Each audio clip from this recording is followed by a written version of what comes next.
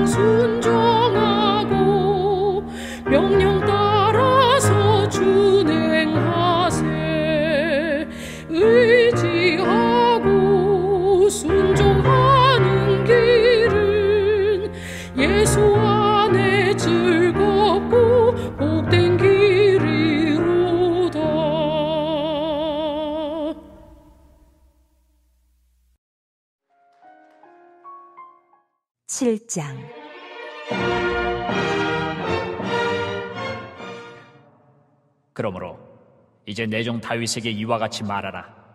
만군의 여호와께서 이와 같이 말씀하시기를 내가 너를 목장 곧 양을 따르는 데에서 데려다가 내 백성 이스라엘의 주권자로 삼고 내가 가는 모든 곳에서 내가 너와 함께 있어 내 모든 원수를 내 앞에서 멸하였은즉 땅에서 위대한 자들의 이름같이 내 이름을 위대하게 만들어 주리라. 내가 또 내 백성 이스라엘을 위하여 한 곳을 정하여 그를 심고 그를 거주하게 하고 다시 옮기지 못하게 하며 악한 종류로 전과 같이 그들을 해하지 못하게 하여 전에 내가 사사에게 명령하여 내 백성 이스라엘을 다스리던 때와 같지 아니하게 하고 너를 모든 원수에게서 벗어나 편히 쉬게 하리라. 여호와가 또 내게 이르노니 여호와가 너를 위하여 집을 짓고 내 수완이 차서 내 조상들과 함께 누울 때에 내가 내 몸에서 날 내 씨를 내 뒤에 세워 그의 나라를 견고하게 하리라. 그는 내 이름을 위하여 집을 건축할 것이요 나는 그의 나라 왕위를 영원히 견고하게 하리라.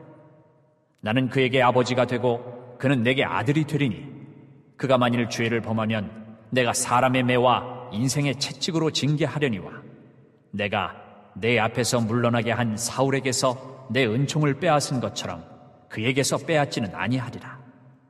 내 집과 내 나라가 내 앞에서 영원히 보존되고 내 왕위가 영원히 견고하리라 하셨다 하라. 나단이 이 모든 말씀들과 이 모든 계시대로 다윗에게 말하니라.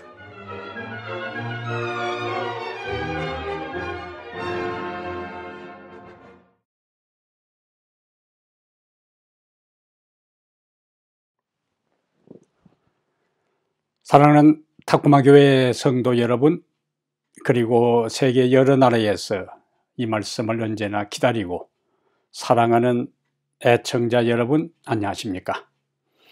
하나님의 말씀을 연구할 때마다 그 말씀이 얼마나 심오막측하며 깊이가 있고 분명하고 확실한지를 우리는 연구하면 연구할수록 더욱더 깨달을 수가 있습니다. 오늘 말씀도 하나님의 말씀이 얼마나 정확하고 무어하며 하나님의 말씀은 반드시 시간이 지날지라도 그 말씀 그대로 성취된다는 진리를 우리에게 확정시켜 주는 말씀입니다. 오늘 우리가 함께 연구할 하나님의 말씀은 사무엘하 7장 8절부터 17절까지입니다. 사무엘하 7장 8절부터 17절까지를 본문으로 해서 다윗 언약과 예수 그리스도 다윗 언약과 예수 그리스도 이런 제목으로 하나님 말씀을 함께 연구하겠습니다. 우리가 2021년에 성경에 나오는 다양한 언약에 대한 공부를 했습니다. 얼마나 언약에 대한 신학적 개념이 정리되어 있고 여러분 머릿속에 남아 있는지 잘 모르겠어요. 종합적으로 성경에는 몇 가지 언약이 등장하는데 아담 언약이 있습니다. 하나님께서 아담에게 하신 약속이요.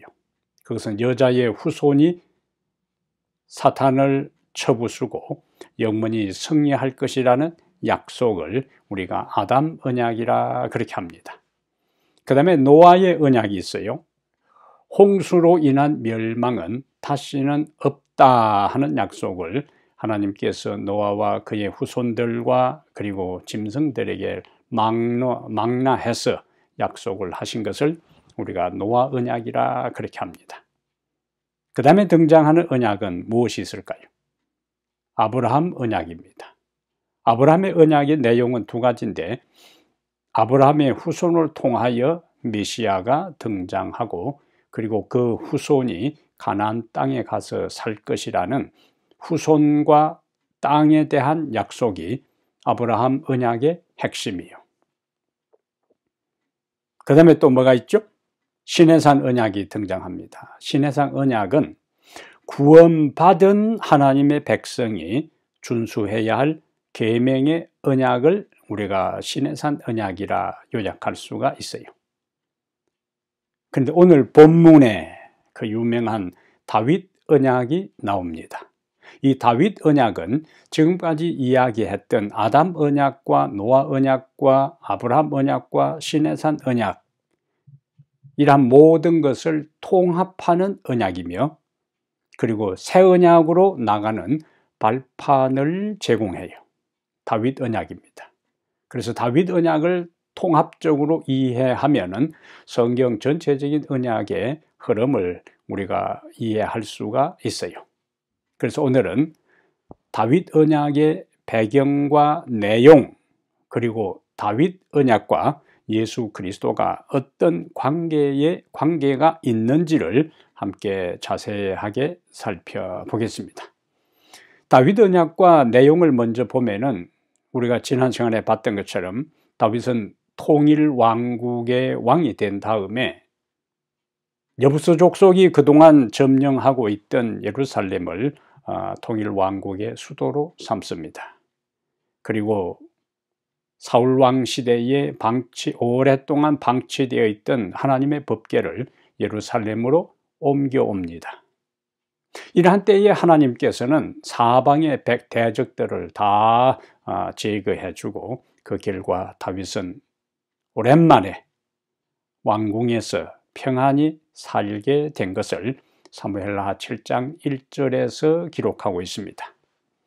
이때의 다윗은 어, 부조 선지자 711페이지에 보면은 다윗은 법계를 위하여 매우 장엄한 성전을 건축해서 온 백성이 여호와 그들의 왕에 임재하신 중에서 하나님께 영광을 돌리기를 원했다 이러한 마음을 가지고 어, 하나님의 법계를 안치할 성전을 건축하려고 해요. 하나님께서는 그러한 다윗의 계획을 아시고 다윗이 성전을 건축할 것이 아니라 그의 아들이 성전을 건축할 것이라고 이야기를 해요. 대신 대신 역대하 6장 8절에 역대하 6장 8절에 내가 내 이름을 위하여 성전을 건축할 마음이 있으니 이 마음이 내게 있는 것이 좋도다. 성전 건축은 허락하지 않으셨지만은 다윗이 그러한 아름다운 마음을 가진 것에 대해서는 하나님께서 긍정적으로 평가하시고 인정하셨어요. 그러면서 다윗에게 이제 언약의 말씀을 하십니다. 그렇다면 하나님께서 다윗에게 언약의 말씀을 하셨는데 그 언약의 내용은 무엇인가? 그 언약의 내용에는 다윗에게 하신 약속이 있고 다윗의 후손들에게 하신 약속이 다윗 언약 안에 포함되어 있습니다. 우선 다윗에게 하신 하나님의 언약의 내용은 오늘 본문 사무엘라 7장 8절과 9절 그리고 11절과 12절 16절의 내용은 다윗과 관계되는 하나님의 언약의 내용이요. 하나님께서는 다윗이 과거에 어, 양을 치는 목동 시절에 그를 불러내서 이스라엘의 주권자로 삼으셨어요. 하나님께서 과거에 다윗을 위해 하신 일입니다. 하나님은 다윗을 목동의 자리에서 이스라엘의 주권자로 삼으신 것으로 그치지 않고 그의 인생, 그의 삶의 모든 여정길에 함께 하셨다고 그리고 다윗 앞을 가로막는 장애물이 되는 모든 원수들을 제거했다고 하나님께서 말씀을 하셨어요.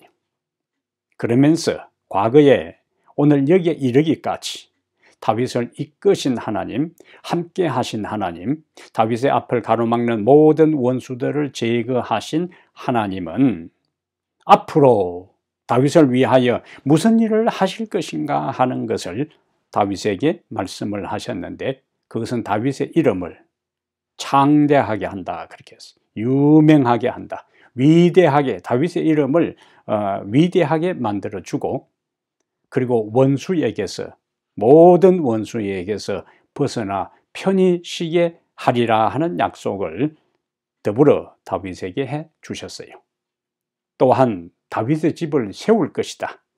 다윗이 하나님을 위하여 집을 세운다고 할 때에 내가 나를 위하여 집을 세운다는 그 기특한 마음 내가 인정하고 받아주겠지만은 네가 나를 위하여 집을 짓는 대신에 내가 너를 위하여 집을 지어 주겠다. 그 집은 다윗을 통하여 한 왕조를 일으킬 것에 대한 아, 암시적인 말씀이 됩니다.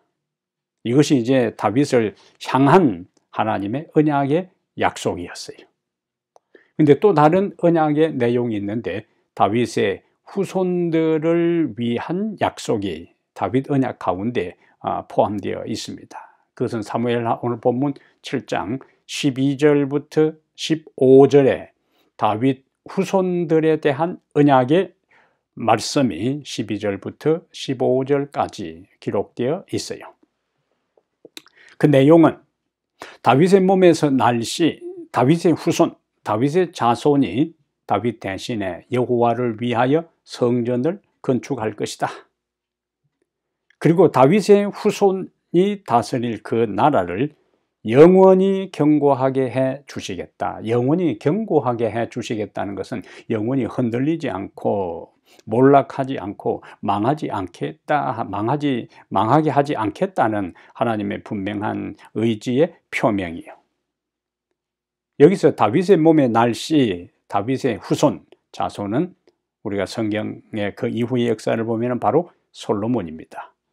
왜냐하면 다윗의 후손이 성전을 건축한다고 했는데 다윗의 후손 솔로몬이 다윗을 대신하여 성전을 건축했기 때문에 다윗의 씨는 바로 솔로몬인 것을 우리가 알 수가 있습니다. 그러면서 하나님께서 덧붙여 중요한 말씀을 하시는데 다윗의 아들이 범죄의 길로 가면은 징계할 것이다. 그런데 범죄 길로 가면은 징계는 하되 사울에게서 은총을 빼앗았던 것처럼 사울에게서 은총을 빼앗았다 하는 것은 사울 왕의 왕조가 몰락하고 보좌가 끝나는 것에 대한 이야기예요. 근데 다윗의 후손은 빗나가면은 범죄하면은 하나님께서 징계는 하겠지만은 그 왕위는 보좌는 나라는 계속 유지하겠다고 하셨어요. 하나님은 이 말씀대로 솔로몬이 초기에는 참으로 성실하게 자기 아버지 다윗의 길을 따라서 하나님을 진실되게 섬기고 겸손하게 하나님의 가르침을 받고 선지자의 기배를 따라서 잘 살다가 솔로몬의 후기에 가서 그가 교만하고 우상숭배에 빠집니다. 하나님을 섬기는 것이 지혜의 근본이라고 했던 솔로몬이 정작 자기 자신은 하나님을 제대로 섬기지 않고 우상을 숭배하고 완전히 범죄의 길로 나락으로 떨어지고 말아요. 이러한 때에 하나님은 다윗에게 이야기한 것처럼 내 후손이 내 씨가 범죄의 길로 가면은 징계한다고 말씀하신 것처럼 솔로몬이 범죄의 길로 갔을 때에 열왕기상 11장 14절부터 25절에 보면은 주변 나라가 이스라엘을 침공하는 것을 하나님께서 막지 아니하시고 허락합니다. 이 나라 가운데 어, 에돔과 수리아도 등장하는데 사실 다윗 왕 때에 에돔과 수리아 나라는 거의 했어요. 에돔과 수리아는 다윗 왕 때에 거의 진멸시다, 진멸되다시피 했습니다. 그러다가 다윗이 죽고 솔로몬이 정상적으로 하나님을 섬기고 통치할 때에는 이 두 나라가 숨을 죽이고 있다가 솔로몬의 통치 말년에 하나님의 보호의 손길이 떠나고 이스라엘의 국력이 약화되자 다시 고개를 들고 이스라엘을 전격적으로 공격하기 시작해요. 그러다가 솔로몬이 다스리던 통일 왕국은 후에 솔로몬이 사후에 남북으로 갈라지고 후에는 솔로몬의 직계 후손들이 다스렸던 남방 유다는 바벨론에 망하고 말았습니다. 그렇다면 여러분 여기에 한 가지 어, 중요한 어, 질문이 생겨요. 하나님께서 다윗에게 내 나라는 영원할 것이고 그 위가 영원할 것이라고 영원이라는 말씀을 하셨는데 다윗의 후손이 다스리던 나라들은 망하고 말았어요. 바벨론에 망하고 말아 나라가 망해버리니까 보좌도 끝났습니다. 그럼 하나님께서 영원하리라고 하신 하나님의 말씀과 현실적으로 이스라엘이 망해버린 그 사건을 어떻게 우리가 조화 있게 이해할 수 있을까 하는 의문이 어, 생기는 것입니다. 우리는 다윗 언약을 다윗과 그의 후손들에게만 국한시키지 말고 구속자, 구속사적 관점에서 큰 그림으로 이해할 필요가 있습니다. 구속사적 관점에서 큰 그림으로 다윗 언약을 이해를 해야 돼요. 그래서 오늘 제목을 제가 다윗 언약과 예수 그리스도라 그렇게 아, 제목을 붙인 이유입니다. 다윗 언약은 다윗과 다윗의 후손에서 끝나는 것이 아니고 결국에 그리스도와 연결해서 구속사적 관점에서 큰 그림으로 이해해야 종합적으로 다윗 언약의 실체를 그 본래의 내용과 의미를 정확하게 우리가 이해할 수가 있어요. 결국에 다윗 언약과 예수 그리스도는 연결되어 있습니다. 다윗 언약의 궁극적인 성취자는 누구인가? 예수 그리스도라 하는 거예요. 자, 그 내용을 이제 어, 후반부에서 좀 살펴보겠어요. 예수 그리스도는 우선 아브라함과 다윗의 자손으로 오셨어요. 인간이 범죄했을 때에 하나님께서는 아담과 하와에게 여자의 후손을 약속하시지요. 우리가 잘 아는 창세기 3장 15절 최초의 구속의 약속입니다. 원복음이라 그래. 여자의 후손, 여자의 후손을 하나님께서 약속하셨어요. 다시 말하자면 메시아입니다. 그리고 이 약속은 예수님이 초림하기 전 약 2000년 전에 아브라함에게 반복됩니다.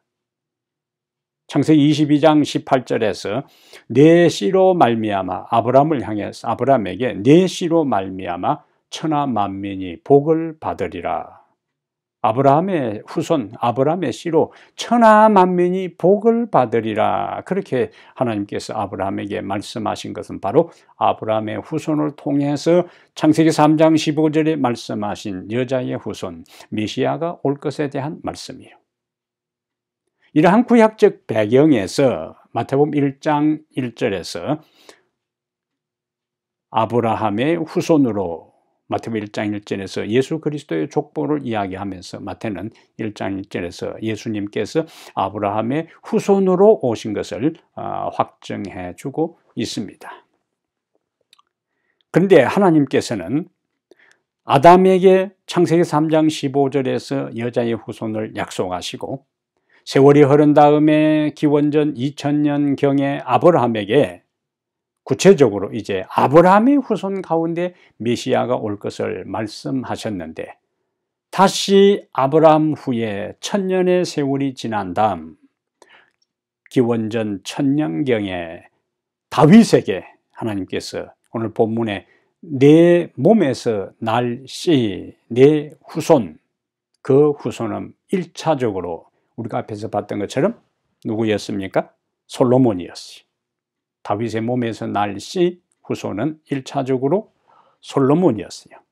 그런데 다윗의 후손에 대한 말씀은 다윗 자손을 통하여 다윗의 씨를 통하여 후손을 통하여 메시아가 탄생할 것에 대한 이중 예언이 되는 것입니다. 하나님께서 원론적으로 아담의 후손, 여자의 후손으로 메시아가 올 것을 말씀하시고 그리고 아브라함에게 아브라함의 후손을 통해서 올 것이라고 약속하시고 다시 천년이 지난 다음에는 다윗의 후손을 통하여 메시아가 오실 것을 말씀하신 거예요. 근데 여기서 우리가 다윗의 나라 통일 이스라엘, 솔로몬이 다스렸을 때의 통일 이스라엘이 남북으로 갈라지지요. 북방 이스라엘은 기원전 722년에 아수리아에 의해 망합니다. 근데 우리가 어, 열왕기 상하와 역대 상하에서 북방 이스라엘 역사 왕조를 살펴보면은 자주 반란이 일어납니다. 그리고 북방 이스라엘의 왕들이 암살을 많이 당해요. 반란이 일어나고 암살을 당하면서 완전히 왕의 혈통, 로얄 패밀리의 그 대를 이을 그 후손이 완전히 어, 멸절되는 것을 보게 돼요. 씨가 마릅니다. 그래서 왕조가 새로운 왕조 등장하고 또 문제가 생기고 대가 끊어지고 왕조가 여러 번 바뀌었어요. 왕조가 여러 번 바뀌었다는 것은 북방 이스라엘의 여로보암부터 시작해서 그 후손들이 여로보암의 후손으로 이어가는 것이 아니고 중간중간에 몰살당한 일들이 있었기 때문에 북방 이스라엘의 왕조는 혈통은 계속 이어가지를 못했어요. 그런데 남방 유다의 왕들의 혈통은 남방 유다의 왕들의 혈통은 비록 바벨론에 의해서 망했지만은 물론 바벨론에 의해 남방 유다가 망하기 전에도 이런저런 일들이 있었어요. 반란도 일어나고 했지만은 그러나 아슬아슬하게도 꼭 여러 왕자들이 몰살당할 때에도 한 왕자는 아슬아슬하게 도망을 가고 한 왕자는 아슬아슬하게 살아남았어요. 다윗의 왕통, 혈통을 이어가는 것을 보게 돼요. 자, 바벨론에 의해서 망한 다음에는 그럼 또 어떻게 되는가?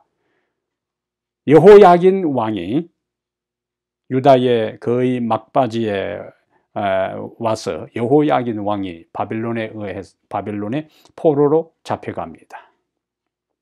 그러다가 하나님께서 에르미야 선자를 통해서 말씀하신 것처럼 유다 백성이 바빌론에 가서 약 70년 동안 포로 생활을 할 것인데 70년의 포로 생활을 마치고 돌아올 때 제1차 기원전 537년에 제1차 포로 귀환령이 내릴 때 그때 돌아온 사람들의 리더가 누구였는가? 스룹바벨이었어요. 이 스룹바벨은 바로 다윗 솔로몬을 이어 내려온 다윗의 직계 혈통이었습니다. 그러므로 유다 왕국이 바빌론에 의해서 망했다 할지라도 다윗 왕조는 끊어지지를 않았어요. 그래서 우리가 마태복음 1장에서 14대, 14대, 14대를 어, 마태가 의도적으로 대수를 정하면서 바벨론 포로 생활 이후부터 14대까지 이어져 내려가는데 그 14대 바빌론 포로 이후에 14대까지 이어 내려가는데 누가 있는가? 스룹바벨이 있고 그리고 14대 끝에 누가 등장하는가? 요셉이 등장합니다. 요셉이. 이 요셉이 자신하고 정혼한 마리아가 임신했다는 사실을 알고 그 관계를 조용히 청산하려고 할 때 하나님의 천사가 요셉에게 나타나서 하신 이야기가 중요해요. 자, 요셉에게 뭐라고 이야기하는가? 마태복음 1장 20절에 다윗의 자손 요셉아 이렇게 이야기를 했어요. 바벨론의 포로 잡혀간 다음에 다시 돌아올 때부터 시작해서 요셉까지 14대인데 그 요셉이 누구의 후손인가? 다윗의 자손 요셉아 한 것을 통해서 볼 때 그 요셉은 바로 다윗의 후손이었어요.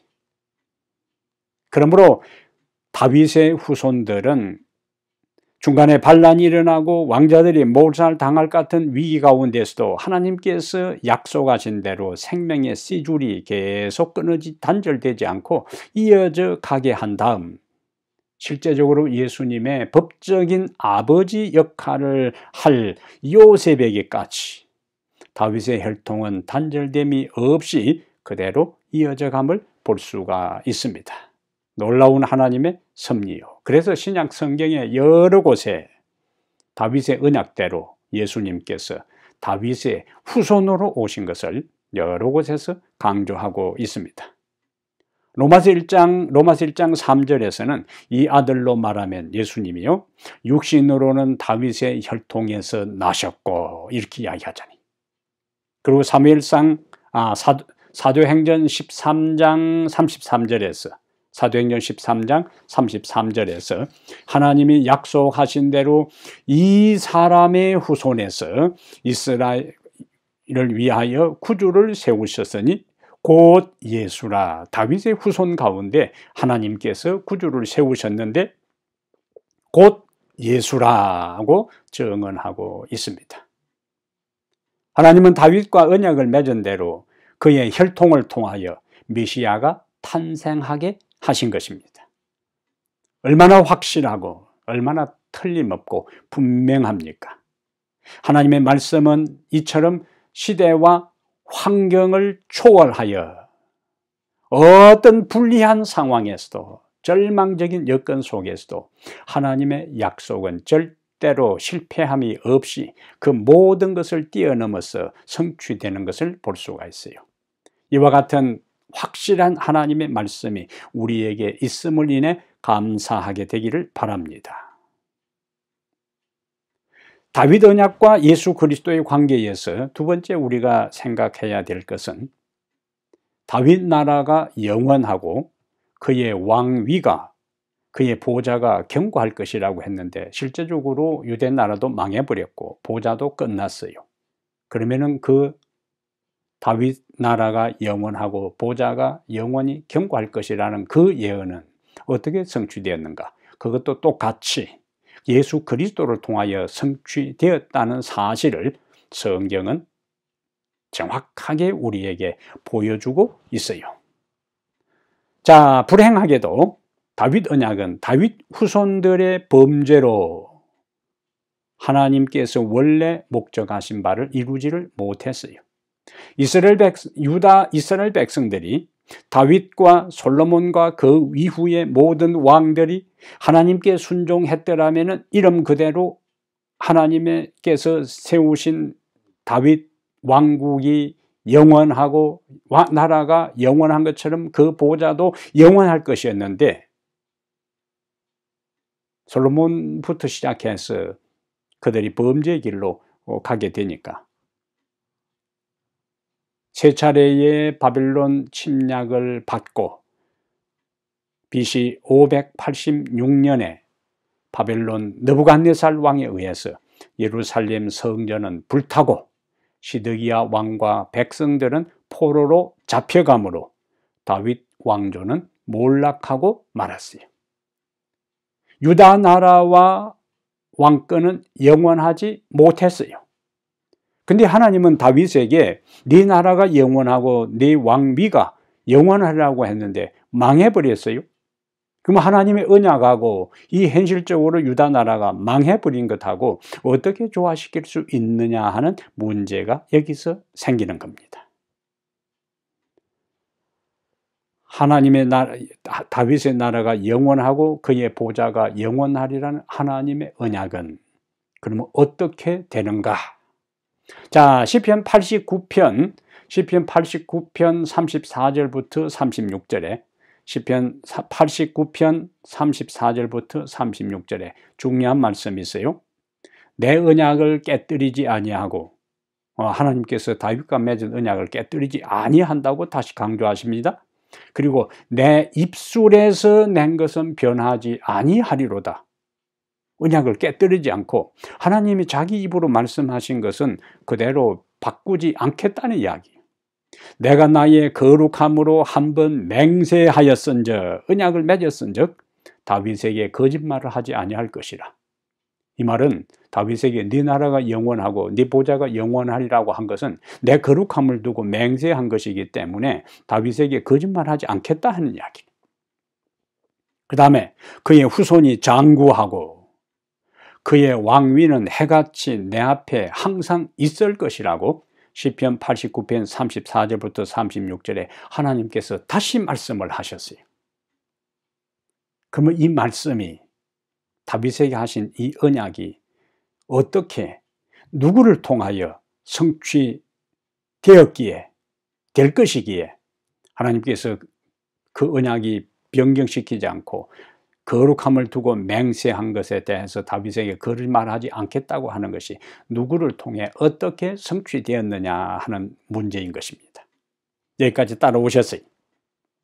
자, 이러한 배경을 두고 이사야 선지자는 하나님께서 다윗과 언약한 것이 최종적으로 다윗의 후손으로 오실 메시아를 통해 성취될 것을 좀 더 구체적으로 예언하기 시작합니다. 그것이 이사야 9장 6절과 7절입니다. 이사야 9장 6절과 7절에 이는 한 아기가 우리에게 낳고 이사야 9장은 미샤에 대한 예언이요. 이는 한 아기가 우리에게 낳고 한 아들을 우리에게 주신 바 되었는데 다윗의 왕자와 자 한 아기가 우리에게 낳고 한 아들을 우리에게 주었는데 메시아에 대한 예언이요. 그가 무슨 역할을 하는가? 다윗의 왕자와 그의 나라에 군림하여 보좌에 올라 그 나라를 굳게 세우고 그 다음 말이 이제 다윗 언약에서 이야기한 것을 그대로 이사야가 인용해요. 지금 이후로 영원히 영원히 정의와 공의로 그것을 보존하실 것이라 만군의 여호와의 열심히 이를 이룰 것이라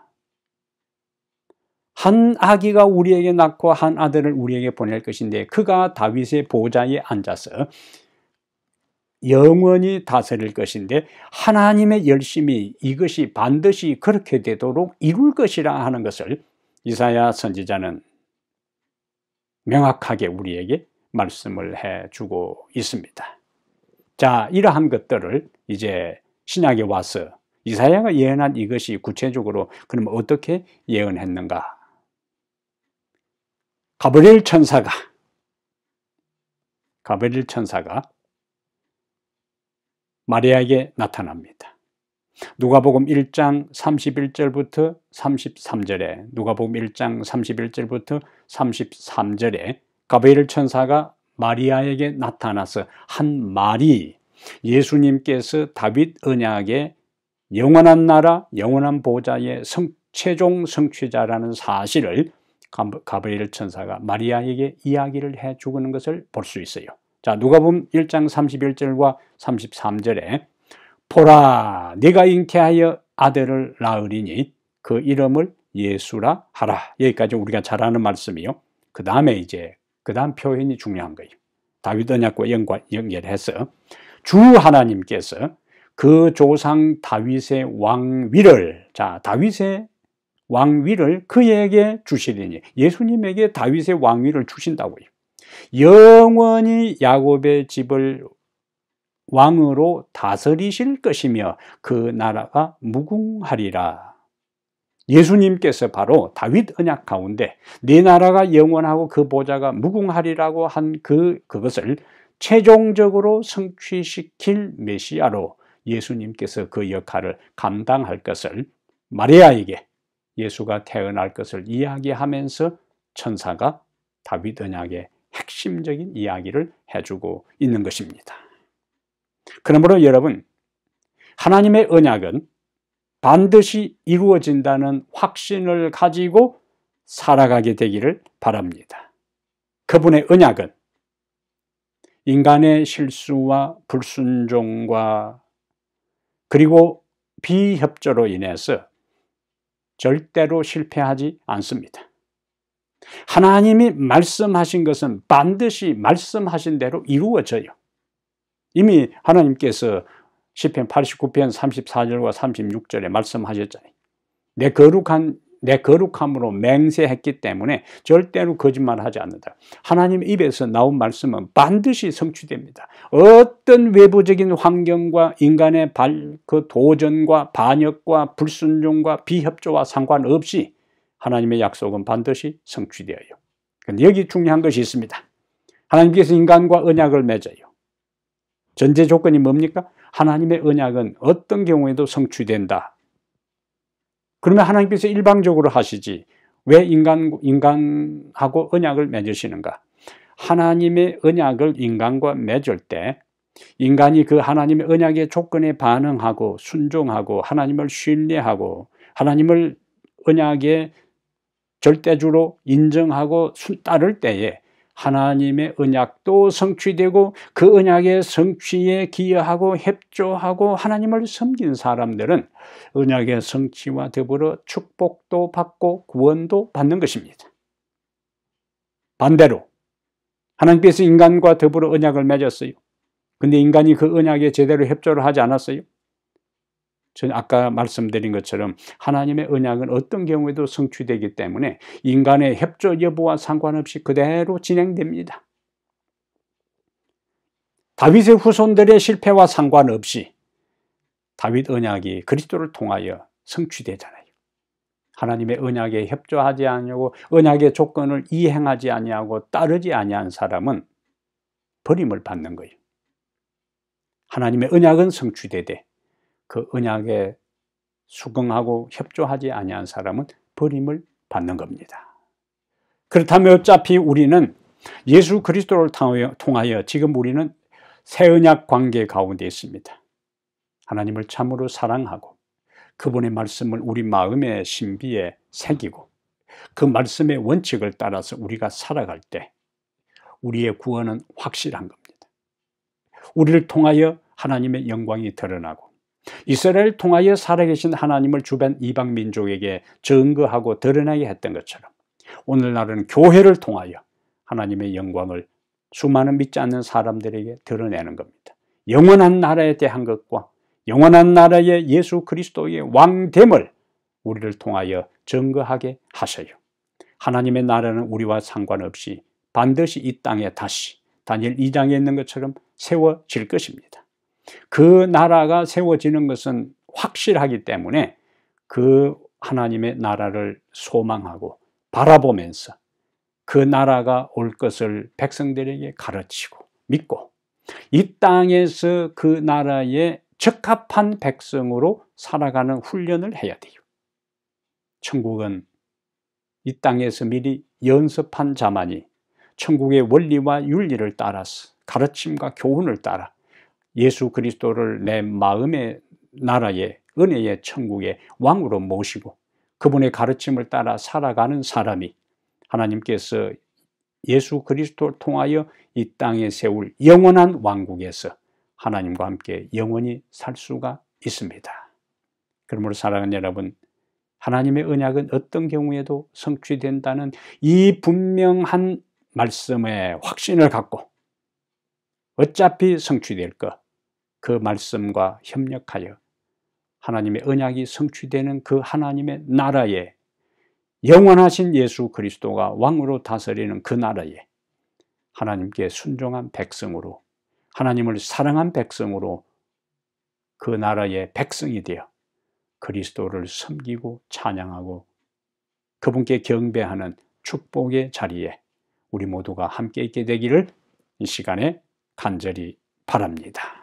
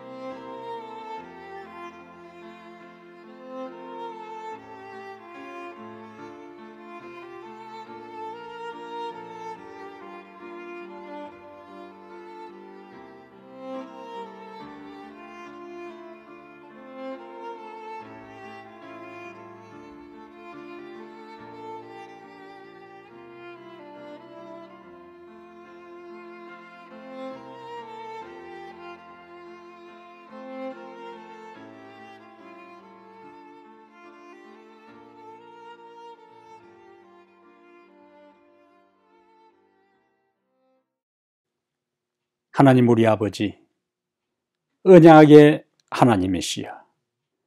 주님의 거룩함으로 말씀하신 것을 그대로 성취하시고 거짓말하지 않으시는 하나님이 우리 하나님이심을 감사합니다. 성경에 여러 언약들이 있고 수많은 약속들이 있는데 하나님은 약속하신 것을 반드시 이루시는 분이라는 사실을 오늘 다윗 언약과 그리스도를 통하여 명확하게 저희들이 믿고 받아들이오니 우리도 주님의 언약의 동참자들이 되게 하여 주시옵소서. 하나님의 언약의 동참자가 될 때 하나님의 언약이 성취되어 하나님의 나라가 이 땅에 세워지고 하나님의 나라가 이 땅에 세워질 때에 영원하고 영원하고 영원한 나라가 될 때 그리스도가 이 나라의 왕으로 다스리는 그 현장에 우리가 천국의 시민으로 주님을 영원히 찬양하며 사는 축복받은 백성들 되게 하여 주시옵소서 우리 주 예수님 이름으로 기도하옵나이다. 아멘.